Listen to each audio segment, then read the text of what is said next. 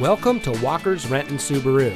And here's a look at another vehicle from our great selection of cars, trucks, and SUVs. And comes equipped with distance pacing with traffic stop go, galvanized steel aluminum panels, delayed accessory power, voice activated dual zone front automatic air conditioning, smart device remote engine start, lane keep assist, valet function, full time all wheel drive quasi dual stainless steel exhaust with polished tailpipe finish, express closed sliding and tilting sunroof.